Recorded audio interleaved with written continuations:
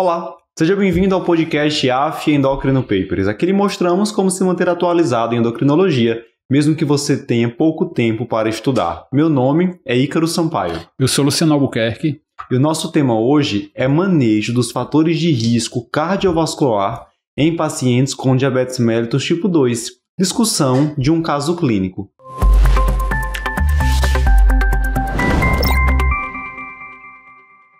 Luciano, hoje a gente retoma um modelo de podcast que a gente já não grava há um bom tempo, que é a discussão de caso clínico. E a gente vai discutir o caso de um paciente com diabetes mellitus tipo 2 e a partir desse caso falar sobre como manejar os fatores de risco cardiovascular. Nós sabemos que as doenças cardiovasculares são a principal causa de mortalidade também morbidade em pacientes com diabetes tipo 2 e a gente precisa falar sobre como atenuar esse risco cardiovascular nesses pacientes. Vamos lá. O caso Luciano é o de um homem, a gente pode dar um nome para ele aqui de Carlos. Carlos tem 58 anos, ele é portador de diabetes tipo 2 há 7 anos. Faz uso de metformina 2 gramas dia e gliclazida 30 mg dia. Ele tem também diagnóstico de hipertensão, está em uso de losartana 100 mg dia não faz uso de estatina e é ex-tabagista. Ao exame físico, peso 88 kg, altura 1,76, resultando num IMC de 28,4. Ele tem um sobrepeso. Circunferência abdominal aumentada, 105 centímetros. Pressão arterial aumentada, 150 por 90. De exames laboratoriais, nós temos aqui inicialmente apenas uma glicemia de jejum de 111 e uma hemoglobina glicada de 6,9%. É um paciente que inicialmente pode parecer uma armadilha, porque uhum. ele vem em terapia dupla, glicada de 6,9. O colega pode pensar, tá ótimo, não uhum. tenho muito o que fazer por esse camarada, vai ser uma consulta rápida. Mas a verdade é que a consulta de Carlos pode durar duas horas porque a gente tem muita coisa para fazer ainda. Então, o que é que pode ser feito ainda por esse paciente? É o que a gente vai discutir ao longo do podcast. Luciano, de modo geral, não só no caso aqui do paciente Carlos, mas no paciente com diabetes tipo 2 que vem para atendimento Quais são nossas metas, de modo geral, ao, ao, abordar um paciente com diabetes tipo 2? Então, a gente já, já ultrapassou essa barreira né, de você colocar como única meta ou como principal objetivo você buscar o controle glicêmico. Lógico que o controle glicêmico é importante, né? A gente tem, como você colocou, essa história da glicada, que é uma métrica que todo mundo usa né, no dia a dia. E todo mundo sabe essa história de manter a glicada abaixo de 7 estaria dentro do alvo. Isso aí vem lá do KPDS, um estudo bem antigo que avaliou a questão do controle glicêmico intensivo e redução de desfecho em paciente com diabetes tipo 2. É um estudo que rola até hoje, né? A gente tem vários segmentos do KPDS, 10 anos, 15 anos, 20 anos, 30 anos do KPDS já. No KPDS, esse controle glicêmico intensivo, no primeiro estudo original, ele conseguiu reduzir desfechos microvasculares que seriam as neuropatias, retinopatia, nefropatia, mas ele não, de, não reduziu o desfecho macrovascular, né? nem mortalidade cardiovascular, nem infarto, nem AVC, que seriam as principais causas de mortalidade nessa população de diabética. E acho que é o principal objetivo da gente seria reduzir esses desfechos. Num subgrupo específico que usava metformina, que tinha sobrepeso, teve benefício. Então, assim, de 2015 para cá, a gente tem assistido vários estudos com drogas para tratar diabetes que reduziram esses desfechos macrovasculares. Né? Então, assim, a gente tem hoje os análogos de LP1, os inibidores de SGLT2, principalmente essas duas classes, reduzindo esses desfechos e abrindo né, essa, essa perspectiva de que a gente precisa olhar o paciente além do controle glicêmico. Então, esse paciente que a gente exemplificou, ele estaria dentro dessa meta da glicada né, de 6,9, mas tem vários pontos aqui da história que estão fora de alvo, e tem vários pontos que você precisaria avaliar que não foram avaliados, né? Mesmo nesses desfechos aqui falta, não tem avaliação de complicação microvascular, a gente falta uma relação albumina-creatinina. Lembrar que ele tem 7 anos de doença. Lembrar que a gente já tem ali pelo menos uns 5 anos de alguma disfunção de célula beta antes disso, então ele já está exposto pelo menos a 12 anos de hiperglicemia ou de desglicemia, né? Vamos dizer assim, de alguma alteração do metabolismo de glicose. Então ele tem muita possibilidade de ter complicação e que a gente não está vendo só com esse resultado, né? Perfeito. Luciano, um ótimo guia hoje ao abordar um paciente com diabetes tipo 2 é baseado no risco cardiovascular, determinar uhum. o risco cardiovascular desse paciente e assim definir quais são as melhores condutas e os melhores alvos. Eu queria que você abordasse um pouco sobre a classificação de risco cardiovascular do nosso paciente Carlos e, e, de modo geral, explicasse como é que é feita essa definição de risco cardiovascular uhum. no paciente com diabetes tipo 2. Pode ser, assim, um guia rápido. Um guia bem rápido, né? Assim, o guia mais rápido que a gente pode dar é que o paciente diabético tipo 2, ele dispensa o uso de calculadoras, né? Então, assim, quando a gente usa aquelas calculadoras de risco cardiovascular, a gente tem várias aí, a SCVD, tem a nova que é a Prevent, a gente tem algumas possibilidades de usar algumas dessas ferramentas, mas para o paciente diabético, ele não cabe nessa classificação, porque tem alguns estudos que mostram que por si só o diabetes tipo 2 já é um fator de risco cardiovascular e que a grande maioria desses pacientes já é classificado como alto risco, né?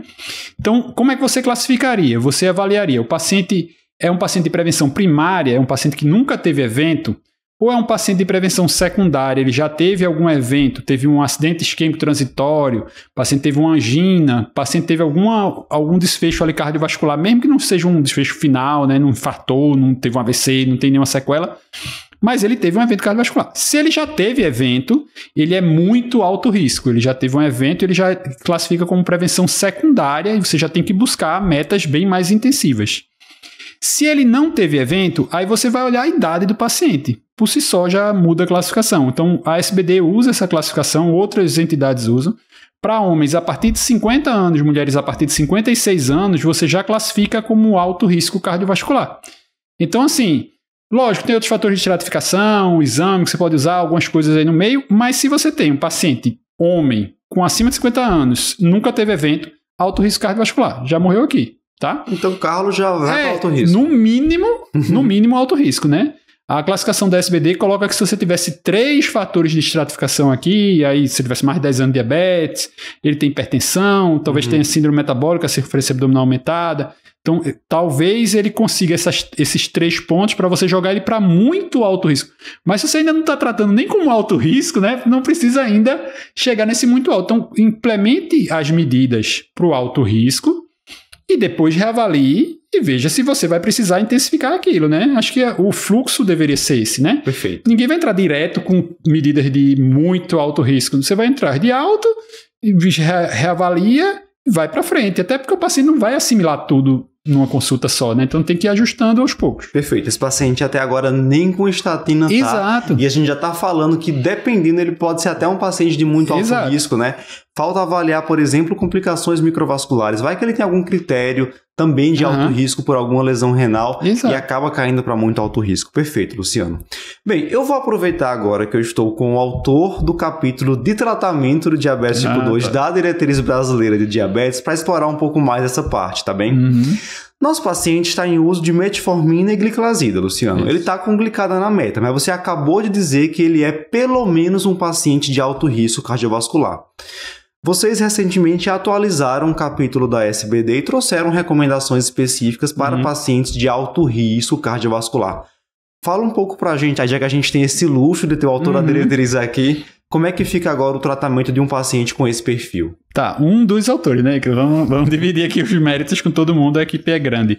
Mas veja, é, essa a, a, grande motivação dessa atualização foi deixar até mais claro, porque a primeira, a gente já veio aí desde de 2015, como a gente colocou, com esse surgimento dessas informações de drogas que reduzem desfecho, já existia sempre essa recomendação de você dizer, oh, não, dê preferência ao paciente que tem algum fator, você usar alguma droga que modifique e tal.